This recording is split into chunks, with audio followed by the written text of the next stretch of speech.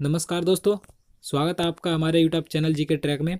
तो दोस्तों, railway group D परीक्षा ग्यारह अक्टूबर को प्रथम पाली का एग्ज़ाम हो चुका है। तो दोस्तों, जितने भी महत्वपूर्ण क्वेश्चन पूछे गए हैं तो बे सभी क्वेश्चन मैं आपके लिए इस वीडियो में लेकर आया हूँ। तो दोस्तों, अगर आपका एग्ज़ाम आगे आने वाला है तो हमारे इस वीडियो को ज़रूर देखिए, क्योंकि कई क्वेश्चन ऐसे हैं जो बार बार पूछे आ रहे हैं। तो दोस्तों वीडियो शुरू करने से पहले अगर आपने अभी तक हमारे चैनल को सब्सक्राइब नहीं किया तो प्लीज़ चैनल सब्सक्राइब कर लें। साथ ही उसके साइड में जो बेल आइकन है, उसे दबाना ना बोले ताकि जब भी मैं वीडियो आगे अपलोड करूँ, आप उसे सबसे पहले देख सकें। तो चलिए वीडियो शुरू करते हैं। तो दोस्तों, यहाँ पर पहला क्वेश्चन है जो पूछा गया था, दक्षिण भारत के कौन से अभिनेता हैं जिन्होंने राजनीति में आने की घोषणा की है? तो दोस्तों, दक्षिण भारत के अभिनेता पूछे गए थे कि कौन है जिन्होंने हाल ही में राजनीति में आने की घोषणा की है? तो दोस्तों, उनका नाम कमल हसन है। तो ये क्वेश्चन आज पूछा गया था तो आप इसे याद रखिए, हो सकता है आगे भी पूछा जाए। अगला क्वेश्चन देखते हैं। ज्ञानपीठ पुरस्कार 2016 किसे दिया गया था। तो दोस्तों, जैसे कि आपको पता होगा करंट अफेयर्स के क्वेश्चन काफ़ी पुराने से पुराने पूछे जा रहे हैं और यहाँ पर आप देख सकते हैं 2016 का करंट अफेयर्स पूछा गया था। तो 2016 का पूछा गया था कि ज्ञानपीठ पुरस्कार किसे दिया गया था? तो ये बावनवा ज्ञानपीठ पुरस्कार था तो शंका घोष को दिया गया था। और दोस्तों आपसे आगे भी पूछा जा सकता है कि 2017 का किसे दिया गया था? तो आप इसे याद रखिएगा 2017 का दिया गया था कृष्णा सोप्ती को। तो आप इसे ज़रूर याद रखिए। अगला क्वेश्चन देखते हैं। नीति आयोग के उपाध्यक्ष कौन है? तो दोस्तों, ये क्वेश्चन नीति आयोग से कई बार क्वेश्चन पूछे जा चुके हैं। इसलिए आप इन, जो मैं क्वेश्चन आपको अब बताऊँगा, इसे ज़रूर याद रखिएगा। तो नीति आयोग के उपाध्यक्ष पूछे गए थे आज। तो राजीव कुमार नीति आयोग के उपाध्यक्ष हैं और नीति आयोग के अध्यक्ष की बात करें तो जो प्रधानमंत्री होते हैं, यानी कि इस समय जो हमारे प्रधानमंत्री हैं, नरेंद्र मोदी इस समय नीति आयोग के अध्यक्ष हैं। और दोस्तों, बात करें नीति आयोग के सीईओ कौन है तो अमिताभ कांत नीति आयोग के सीईओ हैं तो वेरी इंपॉर्टेंट है, ये आगे ज़रूर पूछा जाएगा। तो आप इसे ज़रूर याद रखिए। नेक्स्ट क्वेश्चन देखते हैं। आंध्र प्रदेश के राज्यपाल कौन है? तो दोस्तों, आंध्र प्रदेश के राज्यपाल पूछे गए थे। तो इक्काडू श्रीनिवासन लक्ष्मी नरसिंहन आंध्र प्रदेश के राज्यपाल हैं और तेलंगाना के भी राज्यपाल हैं। तो इन दोनों राज्य के राज्यपाल हैं। तो आप इन्हें ज़रूर याद रखिएगा। काफ़ी लंबा नाम है इनका। अगला क्वेश्चन देखते हैं। 2017 में अंतर्राष्ट्रीय क्रिकेट ऑफ़ द ईयर किसे चुना गया था? तो दोस्तों 2017 का क्वेश्चन पूछा गया था कि अंतर्राष्ट्रीय क्रिकेट ऑफ़ द ईयर किस खिलाड़ी को चुना गया था? तो विराट कोहली को चुना गया था। तो आप इसे याद रखिए। नेक्स्ट क्वेश्चन देखते हैं। आमिर खान को 2017 में किस फ़िल्म के लिए अवार्ड दिया गया था? तो दोस्तों, आमिर खान ने आप सभी को पता होगा 2017 में जो जिस मूवी के लिए इन्हें अवार्ड दिया गया था, उसका नाम पूछा गया था। तो उस मूवी का नाम है दंगल। तो आप सभी जानते होंगे। तो आप इसे याद रखिए। नेक्स्ट क्वेश्चन देखते हैं। महावीर स्वामी जैन धर्म के कौन से तीर्थकर थे? तो दोस्तों, जैन धर्म से एक क्वेश्चन पूछा गया था। तो महावीर स्वामी के बारे में पूछा गया था कि ये जैन धर्म के कौन से तीर्थकर थे? तो ये तीर्थकर पूछे गए थे, कौन से तीर्थकर थे? तो ये चौबीसवें तीर्थकर थे महावीर स्वामी। और दोस्तों, प्रथम तीर्थकर की बात करें तो ऋषभ देव इनके प्रथम तीर्थकर थे जैन धर्म के। तो आप इसे ज़रूर याद रखिएगा। अगला क्वेश्चन देखते हैं। संजू फ़िल्म के निर्देशक कौन थे? तो दोस्तों, काफ़ी चर्चा में रही है संजू मूवी तो इसके निर्देशक पूछे गए थे, ये क्वेश्चन पहले भी आ चुका है। तो राजकुमार हिरानी संजू फ़िल्म के डायरेक्टर या निर्देशक हैं तो आप इसे ज़रूर याद रखिएगा। अगला क्वेश्चन देखते हैं। बंगाल विभाजन कब हुआ था? तो दोस्तों, ये क्वेश्चन पूछा गया था, बंगाल विभाजन किस सन में हुआ था? तो 1905 ईस्वी में बंगाल का विभाजन हुआ था तो आप इसे ज़रूर याद रखिएगा। अगला क्वेश्चन देखते हैं। यजुर्वेंद्र चहल किस खेल से संबंधित है? दोस्तों, आप सभी जानते होंगे यजुर्वेंद्र चहल के बारे में, ये क्रिकेट से संबंधित है। तो ये क्वेश्चन भी आज पूछा गया था। तो अगला क्वेश्चन देखते हैं। तो दोस्तों, अगला क्वेश्चन है, वर्तमान में लोकसभा अध्यक्ष कौन है? तो दोस्तों, ये क्वेश्चन पहले भी आ चुका है। तो इसलिए मैं आपसे कहता हूँ कि हमारी रोज़ाना की वीडियो ज़रूर देखें, जो मैं रोज़ आपके लिए अपलोड करता हूँ, जो तीनों शिफ्ट की मैं आपके लिए वीडियो लेकर आता हूँ। क्योंकि अगर आपका एग्ज़ाम आगे आना आने वाला है तो आपके तीन चार नंबर ज़रूर पक्के हो जाएँगे। तो जी, आज भी पूछी गई थी कि लोकसभा के अध्यक्ष कौन है? तो सुमित्रा महाजन इस समय लोकसभा की अध्यक्ष हैं। और दोस्तों, अगर बात करें कि लोकसभा के उपाध्यक्ष कौन है तो एम थम्बी दुरई इस समय लोकसभा के उपाध्यक्ष हैं। तो आप इसे ज़रूर याद रखें, ये वेरी इंपॉर्टेंट है।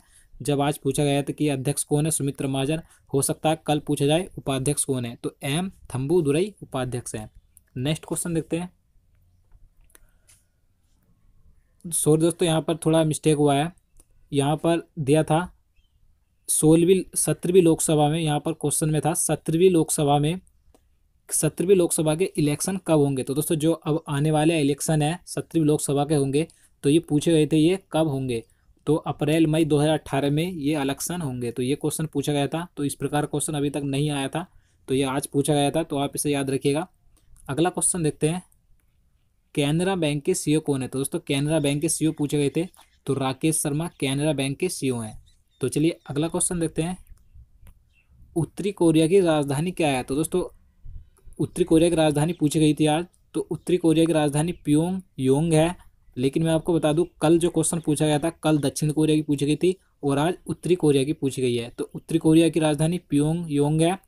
और दक्षिण कोरिया की राजधानी की बात करें, जो मैंने आपको कल भी बताई थी तो दक्षिण कोरिया की राजधानी सिरोल है। तो आप इन दोनों को ज़रूर याद रखिएगा। हो सकता है इनमें से एक राजधानी और द्वारा पूछी जाए। नेक्स्ट क्वेश्चन देखते हैं। कुलदीप यादव किस खेल से संबंधित है? तो दोस्तों, जैसे कि एक क्वेश्चन मैंने आपको पहले बताया कि यजुर्बेन चहल किस खेल से संबंधित है तो ये अलग अलग जोन में क्वेश्चन दो प्रकार के पूछे गए थे कि यजुर्बेन चहल किस खेल से संबंधित है और कुलदीप यादव किस खेल से संबंधित है। तो कुलदीप यादव भी क्रिकेट से संबंधित है, आप सभी जानते होंगे। अगला क्वेश्चन देखते हैं। गिफ्ट सिटी कहाँ स्थित है? तो दोस्तों, गिफ्ट सिटी अहमदाबाद में स्थित है। तो इसकी मैं आपको गिफ्ट की स्पेलिंग वो फुल फॉर्म बता देता हूँ, क्या होती है? गुजरात इंटरनेशनल फाइनेंस टैक तो इसकी पूरी फुल फॉर्म होती है, गिफ्ट की, हो सकता है इसकी आगे फुल फॉर्म पूछी जाए तो आप इसे ज़रूर याद रखिएगा। अगला क्वेश्चन देखते हैं। एक्सिस बैंक के सीईओ कौन है? तो दोस्तों, एक्सिस बैंक के सीईओ भी पूछे गए थे तो अमिताभ चौधरी एक्सिस बैंक के सीईओ है तो आप इन्हें याद रखिएगा। नेक्स्ट क्वेश्चन देखते हैं। 1928 में आई फ़िल्म देवदास के निर्देशक कौन थे? तो दोस्तों 1928 में जो मूवी आई थी देवदास, इसके निर्देशक पूछे गए थे। तो नरेश मित नरेश मिश्रा इसके निर्देशक थे। तो आप इसका आंसर लगा सकते थे नरेश मिश्रा। नेक्स्ट क्वेश्चन देखते हैं। C N G full form क्या है? तो दोस्तों सी एन जी की फुल फॉर्म पूछी गई थी। तो कंप्रेस्ड नेचुरल गैस इसकी पूरी फुल फॉर्म होती है सी एन जी की। तो आप इसे याद रखिएगा। अगला क्वेश्चन देखते हैं। तो दोस्तों, अगला क्वेश्चन है जो पूछा गया था।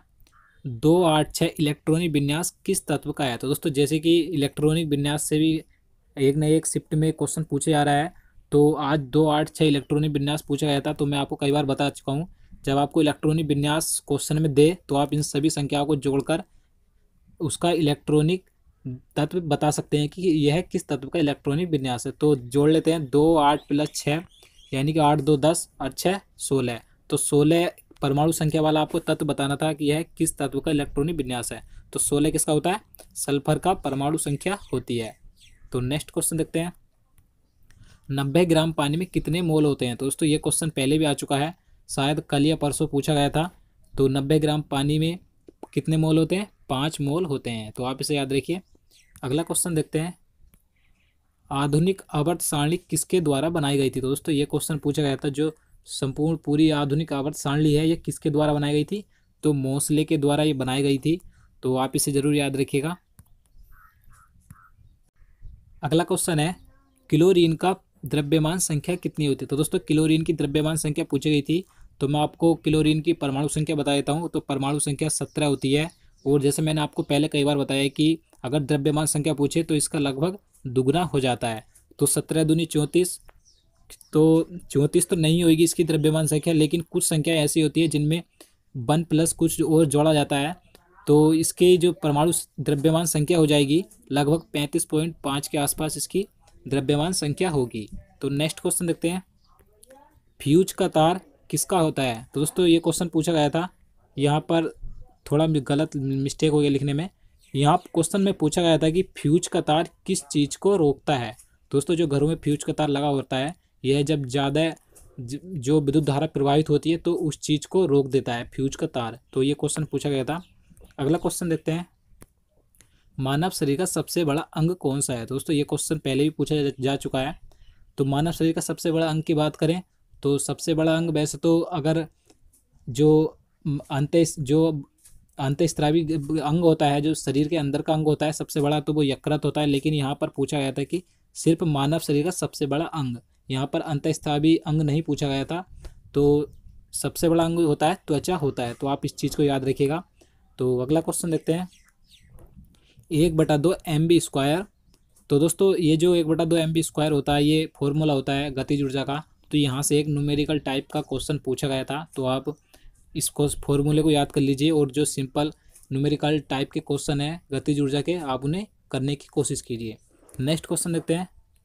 लेंथेनाइड के तत्वों की संख्या कहाँ से कहाँ तक होती है? तो दोस्तों लेंथेनाइड में जितने भी तत्व आते हैं, ये पूछे गए थे कि इसमें जो तत्व आते हैं, इसके अंतर्गत इनकी संख्या कहाँ से कहाँ तक है? तो फिफ्टी एट से सेवेंटी वन के बीच में इनकी संख्या होती है लेंथेनाइट तत्वों की। तो दोस्तों, ये क्वेश्चन पूछे गए थे आज। तो जितने क्वेश्चन मुझे मिल पाए थे, वही क्वेश्चन मैं आपके लिए लेकर आया हूँ। तो दोस्तों, उम्मीद करता हूँ आपको वीडियो पसंद आएगा। तो दोस्तों, मिलते हैं फिर नेक्स्ट सेकंड शिफ्ट में। तो तब तक के लिए नमस्कार।